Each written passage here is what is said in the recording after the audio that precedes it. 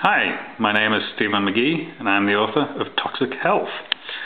I'm here today to look into musical cards and we're going to look into the EMI that comes out of these cards. And this is just a card I picked up while I was on my travels and I got curious as to how much EMI it would give out. And hmm, see when you open it, it plays a tune. So to detect this EMI, we're going to use a standard AM radio. This is tuned into 530 on the AM band, and you can be tuned into anywhere on the AM band as long as there's no radio station there. So we're tuned into static. Um, we've chosen 530 because it's the quietest place on the AM band. So I'm going to turn on the radio, and we can start scanning this card.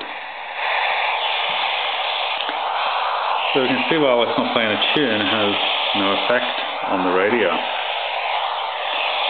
But all that changes when we open it.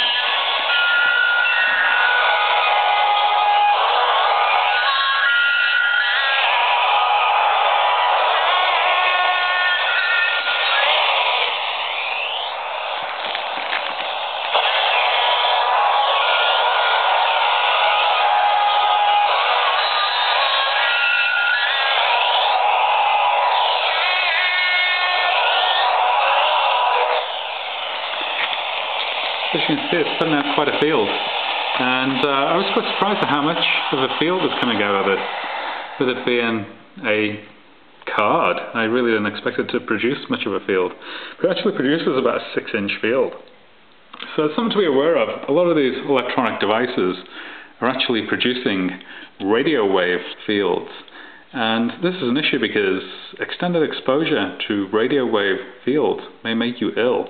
And almost everything that is electrical and electronic does it. So it pays to know the fields that are around the equipment that you own and what you come into contact with and uh, act accordingly. You, you don't want to spend extended time in electromagnetic interference fields because it is a stimulant to the human body. I hope you enjoyed this presentation and I wish you the best of health. Thank you.